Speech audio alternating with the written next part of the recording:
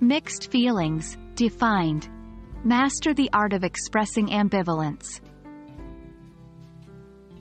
Hello language learners. Today we'll be delving into a fascinating aspect of English conversation, expressing mixed feelings and ambivalence, particularly through the use of qualifiers. This can be a bit tricky, but once you master this skill, you'll be able to communicate your thoughts and feelings with greater accuracy and nuance. Let's jump right into it. Before we delve into how to express them, it's essential to understand what mixed feelings and ambivalence mean. Having mixed feelings about something means you feel more than one emotion towards it at the same time. On the other hand, ambivalence is the state of having simultaneous and conflicting reactions, beliefs, or feelings towards something or someone. To express mixed feelings, we often use qualifiers.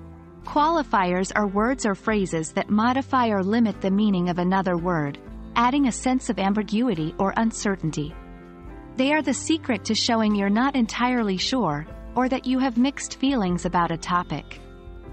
Some examples include words like kind of, sort of, maybe, perhaps, quite, somewhat, and in a way. Let's see how we can use qualifiers in our speech to express ambivalence. 1. Kind of, and sort of. These qualifiers are often used to indicate a mild degree of something. Example, I'm kind of excited about the concert, or, she's sort of angry at him. 2. Maybe, and, perhaps. These words show a level of uncertainty or indecision. Example, I maybe should have called him, or, we perhaps ought to take a break. 3. Quite, somewhat, fairly. These are used to suggest that something is true to a certain extent. Example, the movie was quite interesting, or, I'm somewhat busy today. 4. In a way, this phrase is often used to show that something is true in one sense, but not completely. Example, in a way, you are right. Remember, the use of these qualifiers can express varying degrees of ambivalence.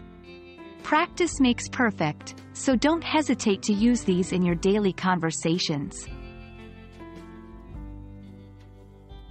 And that's it for today, language learners. Hopefully, you've learned a new way to enhance your English communication skills by expressing mixed feelings and ambivalence. Remember, language is all about expressing your thoughts and emotions accurately, and qualifiers play a big role in that. Keep practicing and keep learning. Until next time, happy language learning.